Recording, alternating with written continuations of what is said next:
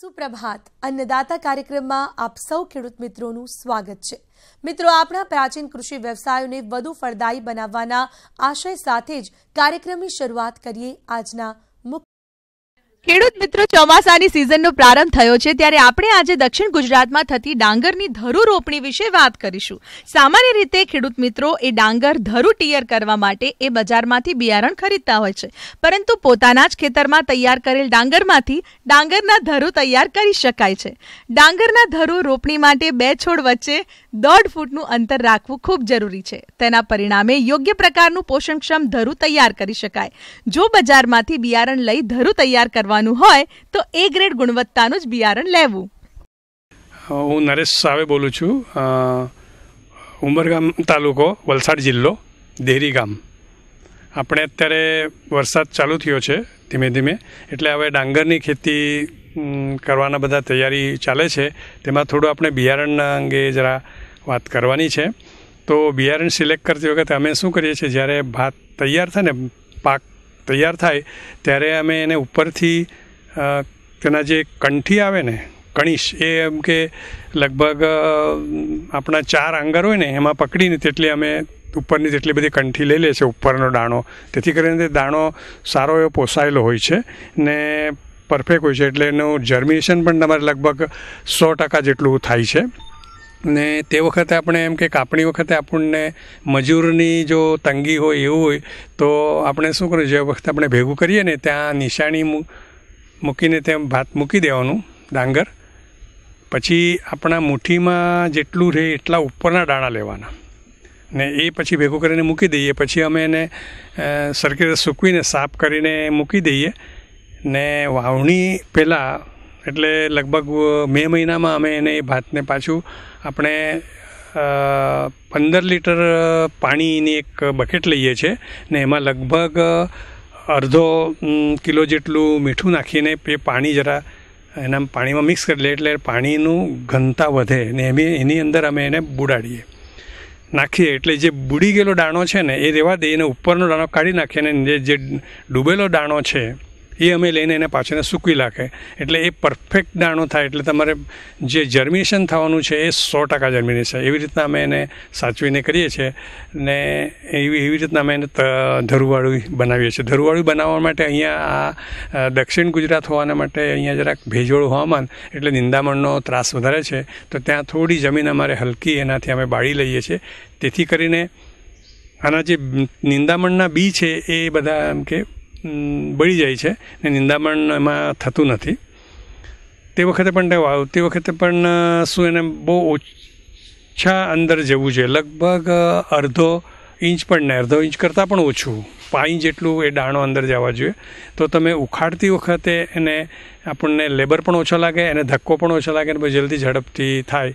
એવી રીતના એની અમે કાળજી લઈએ છીએ આ બધા હાઇબ્રિડ બિયારણ તો દર વર્ષે જ આપણને લેવું પડે છે.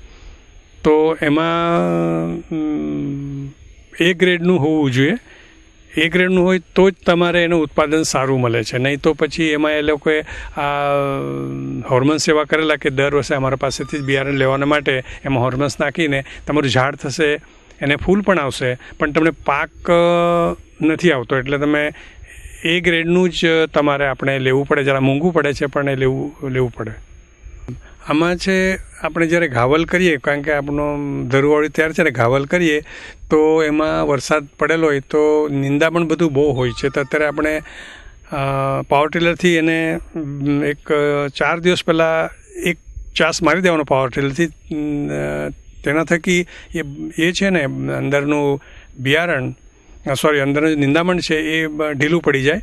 ને પછી ચાર દિવસ પછી એમાં તમે પાછું ખાવલ કરશો એટલે બધું અંદર, કાદવની અંદર ઘૂસી જશે ને એનું આપણે લીલોતરી ખાતર તરીકે એનો ઉપયોગ થશે ને બધું સડી જશે. એટલે આપણે આવતા પાકના માટે પણ સારું છે. પાક ઉપર આવી જશે ને પેલો ઓટોમેટિક જ પછી દબાઈ જશે. હા ડાંગ, ડાંગર આપણે ડાંગર ખાસ કરીને જ્યારે વાવતી વખતે એક તો આપણે જે ઊંચી જાત છે એ પસંદ કરવાની, કારણ કે અહીંયા દક્ષિણ ગુજરાતમાં વરસાદ વધારે હોય છે ને હવામાન ભેજવાળું હોવાને કારણે અહીંના નિંદામણની પણ ઊંચાઈ વધારે હોય છે. એટલે બંનેની સ્પર્ધા થવી જોઈએ અને આપણો પાક છે તે ઉપર આવી જવો જોઈએ. એ કરતા જે તમે આપણને બીજો એ સવાલ ત્યાં પેદા થાય છે કે ઊંચું થાય તો પડી જાય છે. એટલે એને આપણે લગભગ અમે જે નવાબી કોલમ જે રોપીએ છીએ, જેને એમ કે એ વાડા કોલમ પણ કહી છે, એ લગભગ છ ફૂટ ઊંચું થાય છે. તો અમે લગભગ દોઢ ફૂટ એનું અંતર રાખીએ છીએ બે છોડની વચ્ચે. ને ત્રણ ત્રણ કાળી અમે રોપીએ, તો એમાંથી લગભગ દસ પંદર કાળી ફૂટ થઈ જાય છે. ને સારો એવો પાક આવે, કે કે એમ હેલ્ધી રહે છે એટલે પડતું નથી.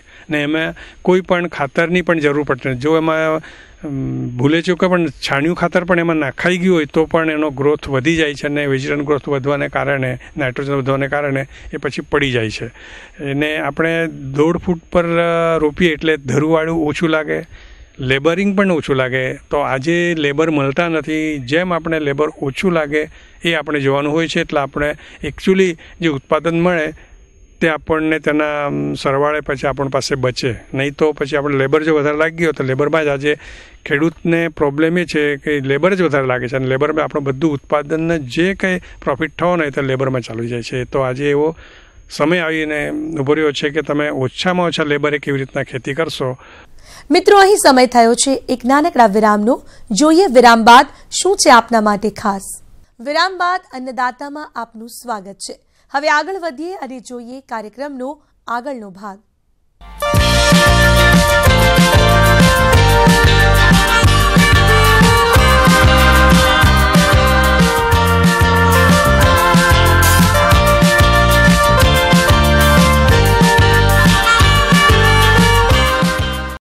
ખેડૂત મિત્રો, ચોમાસાની સિઝનનો પ્રારંભ થઈ ગયો છે. ખાસ કરીને દક્ષિણ ગુજરાતના ખેડૂત મિત્રોએ ડાંગરની ખેતી ખૂબ મોટા પ્રમાણમાં કરતા હોય છે.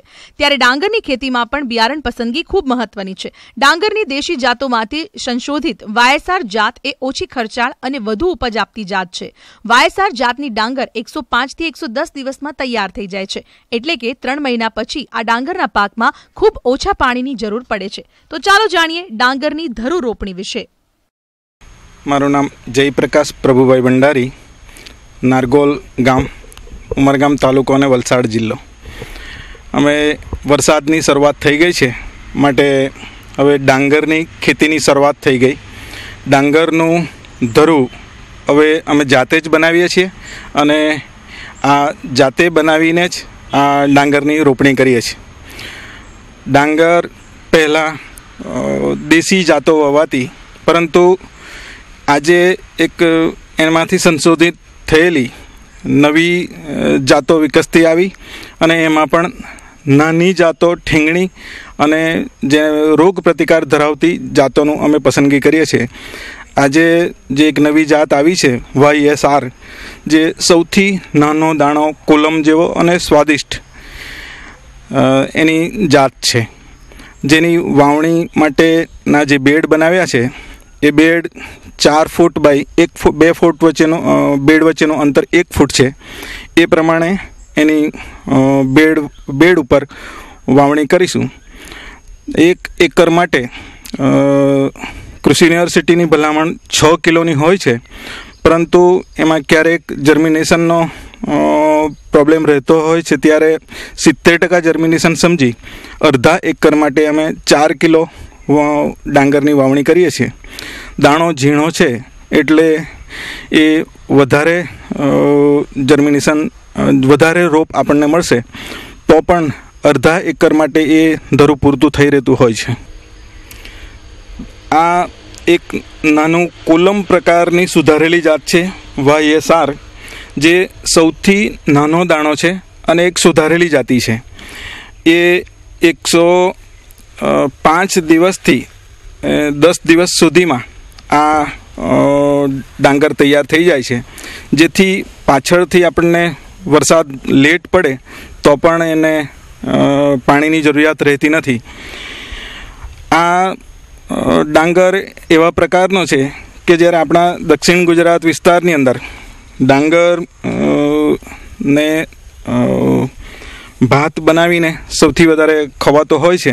અને અહીં મુખ્ય ખોરાક પણ ચોખા હોય છે. એમાં રોટલી પણ આ ચોખાની હોય છે. તો એ રોટલી પણ આની બગડતી નથી બીજા દિવસ સુધી. અને એ સ્વાદિષ્ટ એક જાત છે. બીજું એની ખાસિયત હોય છે કે આ જે જાત છે વાયએસઆર, એમાં ચૂસિયા પ્રકારની જીવાતનો કોઈ તકલીફ રહેતી નથી. બીજા કોઈ રોગનો પણ તકલીફ નથી. રોગ પ્રતિકાર ધરાવતી આ જાતો છે. આવી સુધારેલી જાત રોપવાનું હું પસંદગી માનું છું. ગાદી ક્રિયા ક્યારે બનાવતી વખતે ખાસ કાળજી રાખવાની કે જમીનની અંદર માત્ર ભેજ હોવો જોઈએ. કાદવવાળી જમીનમાં આપણે ટિલિંગ કરીએ તો એ જમીન ચીકટ થઈ જાય છે, ભરભરી રહેતી નથી. એટલે સારો એવો મોકો મળે વરસાદનો, ત્યારે જ એની ગાદી ક્યારા માટે ખેડ કરવી જોઈએ. ખેડ કર્યા પછી થોડો એક કલાક એમ જમીનને સુકાવા દઈએ. પછી એના ઉપર ગાદી ક્યારા કરીએ, તો એ વધારે અનુકૂળતા રહે છે અને એમાં ભેજ જળવાઈ રહે છે. ડાંગરના પાકમાં અમે રાસાયણિક ખાતર વિશેષ કરીને વાપરતા નથી. છાણિયું ખાતર વાપરીએ છીએ અને જૈવિક ખાતરો બજારમાં મળે છે, જે વાપરીએ છીએ. જે રાઇઝોમ રાઇઝોબિયમ કલ્ચર અને ફોસ્ફેટિક કલ્ચર આવે છે, જે લિક્વિડ ફોર્મમાં છે, જે દસ લીટર પાણીમાં દસ એમએલથી પંદર એમએલ સુધી એનું પ્રમાણ હોય છે. અને ડાંગરની વાવણી પહેલાં, જમીનમાં પહેલાં જ નાખી દેવામાંથી જેથી ભેજ પણ સચવાઈ રહે અને આ પટ એને તાત્કાલિક મળી જાય. હા. આ જૈવિક ખાતર છે એને પાણીમાં ઓગાળેલું છે અને આ રીતે છંટકાવ કરવાથી આ ભેજની અંદર આ મળી જશે અને એ જૈવિક ખાતર આપણને નાઇટ્રોજન અને ફોસ્ફરસની બંને રીતે ફાયદા કરશે. જૈ- જૈવિક ખાતર નાખવાથી બીજા જે કોઈ પણ રાસાયણિક ખાતરના જે રિએક્શનો હોય છે એ રિએક્શન રહેતા નથી અને એક કુદરતી ફોર્મમાં જીવાણુ દ્વારા નાઇટ્રોજન ઉત્પન્ન કરીને એ મળે છે.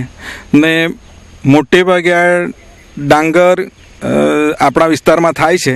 જે એક પ્રોફેશનલ નહીં કહેતા. બધાના ખાવા માટે જ વાપરતા હોય છે. એટલે કોઈ પણ સંજોગોમાં રાસાયણિક ખાતર વગરનું જ ખાવાનું પસંદ કરીએ છીએ. અને જે વધારાનો થાય એ વેચીએ તો પણ એ આપણે રાસાયણિક ખાતર વગરનું જ ખાવાનું અને વેચવાની આગ્રહ રાખું છું. જૈવિક ખાતર નાખ્યા પછી હવે ડાંગરનું જે બિયારણ છે, જેને ફૂગનાશક દવાથી પટ આપેલો જ હોય છે તે ડાયરેક્ટ બેડ ઉપર એની વાવણી કરવાનું. જે વાવણીમાં એક દાણો બીજાથી અડેલો નહીં રહે ને બે દાણા વચ્ચેનું અંતર લગભગ એક સેન્ટીમીટર મળી રહે. એ હિસાબે એની વાવણી કરવાથી એનું ધરુનો ઉગાવો અને એ પછીથી એની સારું વ્યવસ્થિત તંદુરસ્ત ધરું આપણે ઉછેરી શકીએ. આ બેડ બનાવી છે, એનો વિશેષ બેડનો કારણ એ છે કે વરસાદનું પાણી, કે જ્યારે આપણે પાણી આપીએ ત્યારે માત્ર ને માત્ર ભેજ જળવાઈ રહે અને વધારાનું પાણી, આ બેડના જે વચ્ચેનો એક ફૂટનો જે ગાળો છે, એ નીચેના ભાગમાં જ પાણી રહે અને ભેજ જળવાઈ રહે. જેનાથી ધરુમાં જે ફૂગ લાગવાના જે કારણો રહે છે એ ફૂગ લાગતી નથી અને ધરું ઉપાડતી વખતે આપણે એની અંદર પગ પડશે નહીં અને સારી રીતે આપણે નિંદામણ થાય તો એ પણ આપણે એને ઉચકી શકીએ ને ધરુવાડિયામાં અંદર આપણે જઈ પણ શકીએ. માટે જે એક ફૂટનો ગાળો છે એ પાણીનો વધારાનો અ, પાણીનો સંગ્રહ ત્યાં થઈ શકે અને નિતાર થઈ શકે એ હેતુથી ત્યાં રાખવામાં આવેલો છે. જે દાણાની વાવણી થઈ રહી છે જે વાવણીમાં આપણે આંખ બંધ કરીને નાખતા પહેલાં અને હળ દ્વારા એને દબાવતા, પરંતુ એવું ન કરતાં. પૂરેપૂરો દાણાનું આપણને જર્મિનેશન મળી રહે, એ માટે છૂટો છૂટો દાણો નાખી અને એ દાણાને એવી માવજત થાય અને એને પાછળથી પણ તકલીફ નહીં રહે. એટલા માટે એને છૂટો પડે અને એને આપણે ઢાંકી શકીએ. એ માટે એને એટલા અંતર પર અને એટલું બિયારણ આપણને પૂરતું પણ થઈ રહે. એ ગોઠવણ માટે જ આપણે એને વ્યવસ્થિત વાવણી કરીએ છીએ. જેમાં પહેલાંની પદ્ધતિમાં ગાડું ભરીને બિયારણ લાવતા અને હળ દ્વારા અને પનિયા દ્વારા એને દબાવવામાં આવતું, જેમાં પચાસ ટકા પણ ઉગાવો થતો નહીં. ક્યારેક ક્યારા ભરાઈ રહેતા, ત્યારે એનું ઉગેલું બિયારણ પણ પાછળથી નાશ પામતું. પરંતુ હવે આ મોંઘી અને ઓછા ખર્ચવાળી ખેતી માટે આ થોડીક મહેનત વધારે કરી લઈને જો આપણે પૂરેપૂરું જર્મિનેશન કરાવવું હોય, તો આ એક સીધી સાદી પદ્ધતિએ આપણે જો વાવણી કરીએ, તો રોગથી બચી શકીએ, ફૂગથી બચી શકીએ અને ઓછામાં ઓછા મજૂરથી આપણે કામ લઈ શકીએ. દાણો નખાઈ ગયા બાદ એને હાથથી જ એને દાણાને દબાવવા પ્રયત્ન કરીશું, જેથી એ વધારે ઊંડો જશે નહીં અને આ દાણો ઉપરથી જ ઉગીને તાત્કાલિક ઉપર આવી જશે. જેથી આ જ્યારે ધરુવાડિયામાં એકવીસ કે પચીસ દિવસના અંતરે પછીથી આ જ્યારે ફેર રોપણી માટે આ ધરુને આપણે ઉપાડીશું, ત્યારે આસાનીથી આ ધરુ આપણાથી ઉપડાઈ જશે અને ખૂબ ઓછા મજૂરે આ પૂરેપૂરું જે ધરુવાડિયું છે, આપણે ઉપાડી શકીશું. નહીં તો ક્યારેક કે આદરો હળગાવી આપણે અસંખ્ય રૂપિયાના ખર્ચો કરી જે પહેલે ધરુવાળીઓ બનાવતા, એ ધરુવાળીમાંથી આપણને ધરુ ખોદવાનો જ ખર્ચો પુષ્કળ થતો. પરંતુ આ જે બેડ પદ્ધતિથી જો આપણે ધરુવાળીઓ બનાવીએ, તો બહુ ઓછી મજૂરીએ આપણે આ ધરુવાળીઓ મિત્રો, અહીં લઈશું વધુ એક વિરામ અને વિરામ બાદ પણ છે તમારા માટે કંઈક ખાસ. તે જોવા માટે બન્યા રહો અમારી સાથે. વિરામ બાદ ફરીથી આપનું સ્વાગત છે અને હવે જોઈશું કાર્યક્રમમાં આગળ શું છે આપના માટે ખાસ.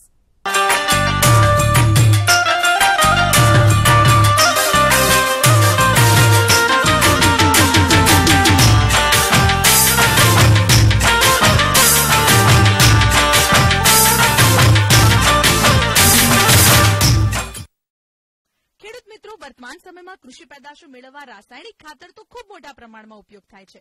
રાસાયણિક ખાતર પાછળ હજારો લાખો રૂપિયાનો ખર્ચ કરવામાં આવે છે.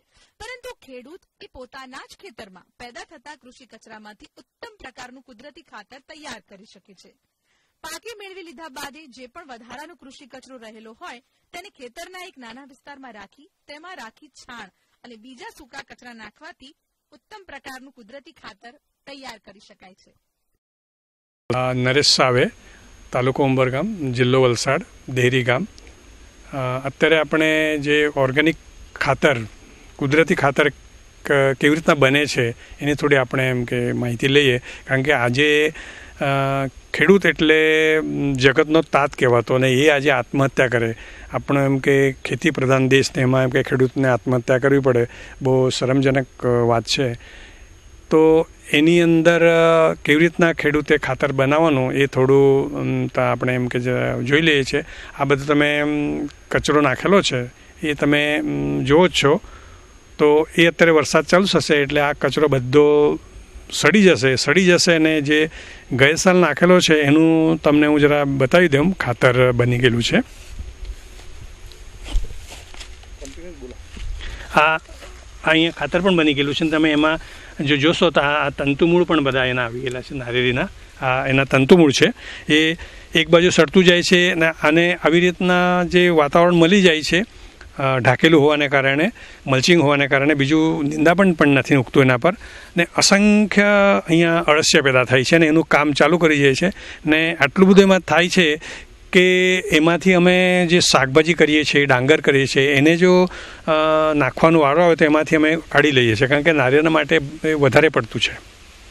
એનો એ નહીં તો એની અંદર અમને એક પણ નવા પૈસાનો ખર્ચા વગર આ અમને ખાતર મળે છે અને આખું અમારે ફાર્મ એની અંદર આ તો અમારે કલ્પવૃક્ષ તો છે જ, પણ બીજી અલગ અલગ લોકોએ કરી છે, અમારી પણ બીજી બે ત્રણ ફાર્મ છે, એની અંદર પણ એક પણ નવા પૈસાનો ખાતરનો અમારે ખર્ચો આવતો નથી, તેનું તેના જ એ જાય છે. અમે આની અંદર તમે જોશો તો બધું જ નાખેલું છે. એમાં એમ કે આપણે કેરીના ગોટલા છે, સોપારીના સાલટા છે, જે વેસ્ટ છે એ દરેકે દરેક એની અંદર નાખેલું છે. હવે વરસાદ પડવાનો એટલે એમાંથી જે અમુક પાણી પણ એમ ગટરમાંથી નીચે આવી જાય છે ને સીધું ડાંગરની ખેતરમાં ચાલી જાય છે. એટલે અમને એને અહીંથી નાખવા પણ નથી પડતું. ડાંગરની ખેતરમાં ને ત્યાં જતું જ રહી છે. એટલે કોઈ પણ ચીજ નકામી નથી. એનો કંઈ ને કંઈ ઉપયોગ છે. પ્રકૃતિએ બનાવેલી છે. પણ એ આના આપણે ઉપયોગ કરતા આવ્યો છે. આજે આપણે મોટા મોટા બધા ખાતર લઈને આ લોકો બધી જે વિદેશી કંપનીઓ છે કે બધા બધા એજન્ટો છે, એ લોકોને આપણે એમ કે પોષીએ છીએ.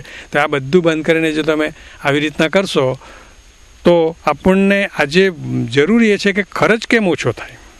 ખર્ચ જેટલો તમે ઓછો કરશો, તેટલો તમને નફો તમારે વધારે થશે. તમારી પાસે બચશે. આજે ખેડૂત પાસે કંઈ બચતું નથી એટલે ખેતી કરવા માટે કોઈ તૈયાર નથી ને ખેતી પરવડતી નથી. પણ શાના કારણથી નથી પડતી એ આપણે એમ કે જે જોવાનું છે.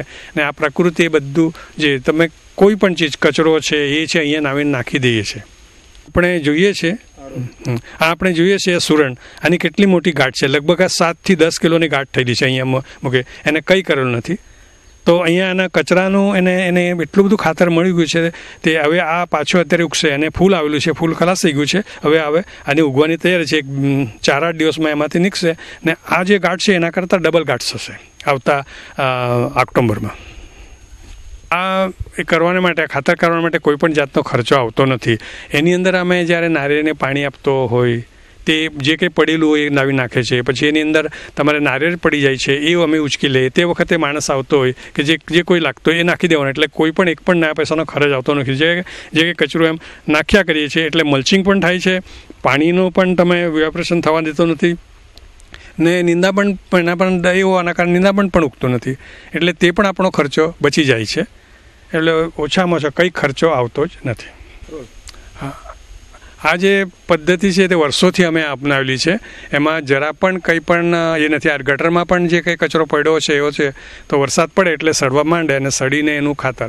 એની અંદર સડવાના માટે અહીંયા જલ્દી સડે છે. પહેલાં કરતાં જ્યારે અમે સ્ટાર્ટ કર્યું ને, તે એક વર્ષ પછી અમને એમ ખ્યાલ આવ્યો કે સડવાનું જલ્દી થઈ જાય છે. કારણ કે એમાં બેક્ટેરિયા ઓલરેડી પેદા થઈ જાય છે અને ઓલરેડી બેક્ટેરિયા છે જ, એટલે એનું કામ એ સડવાનું કામ જલ્દી થઈ છે આખા, એમાં આખી ફાર્મની અંદર તમે જોશો કે આખી વાડીમાં આવી રીતના જ અમે કર્યું છે. બીજા જે અમારા ફાર્મ છે, એમાં પણ એવી રીતના જ કર્યું છે. એને ખેડ પણ કરવા પડતી નથી કારણ કે એમાં અળસિયા પેદા થાય છે. અને અળસિયા મેં પહેલાં કીધું તેમ એ જ્યાં સુધી એનો ભેજ હોય, જ્યાં સુધી પથ્થર હોય, તો દસ દસ ફૂટ સુધી આ અળસિયા એનું કામ કરે છે, તમારા જમીનના એના પર કરે છે.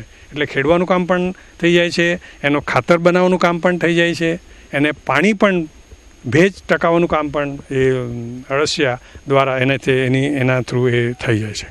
આપણે બહારથી જો ખાતર લાવીએ જે દાખલા તરીકે છાણિયું ખાતર લાવીએ કોઈ પણ ખાતર લાવીએ, તો એની ટ્રાન્સપોર્ટિંગ એની કિંમત, એની પછી લાખવાની મજૂરી, આટલી બધી એમાં પર ચડી જાય છે, એ અહીંયા કંઈ પણ કરવાની જરૂર નથી. બીજું જે કંઈ કચરો પડેલો છે, એની પણ વિલેવાટ સરખી રીતે લાગી જાય છે ને એ પણ આમ વ્યવસ્થિત આપણને લાગે, વ્યવસ્થિત થઈ જાય છે અને કોઈ પણ જાતનો ખર્ચો આવતો નથી.